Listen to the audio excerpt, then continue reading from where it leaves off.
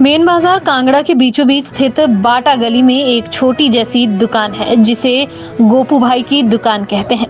गोपू भाई पिछले 22 साल से शहरवासियों को रोज़ाना बेहद कम दाम पर कांगड़ी धाम खिलाते हैं।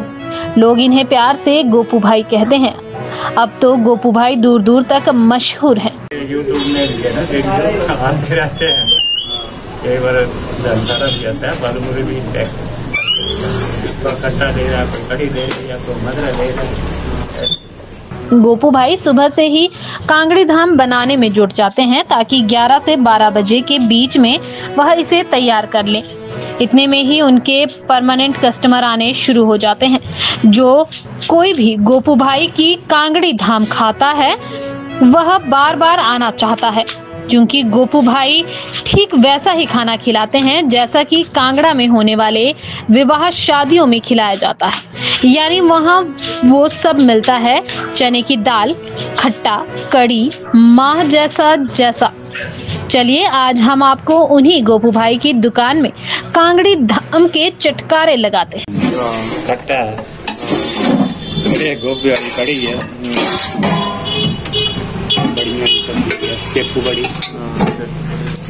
हरी मूँगी का मदरा पाँच छः बंदे तम लगी है दाम बहुत लगी है। ना चार की बनाई है मेरा नाम गोपू है गोपू बोलते हैं वैसे पच्चीस लाभ है सर कितना टाइम हो गया आपको शॉप चलाते हुए है दो हज़ार तीन में बदला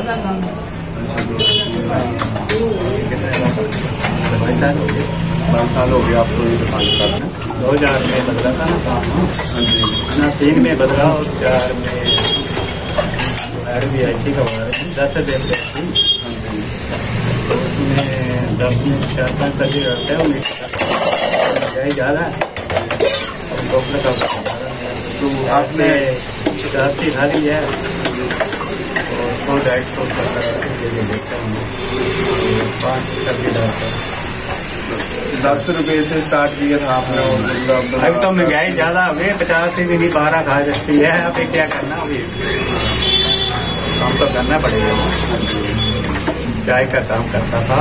सन्यासी की आई चाय का काम पच्चीस करते फिर तीन में दो हज़ार तीन में ख्याल आया आपको? दो ख्याल नाम आपकी दो हज़ार तीन से चलती है।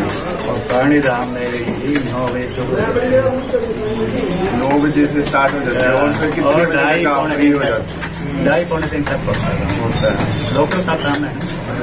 तो और पैकिंग भी जाती है। सस्ता कारण है। पूरे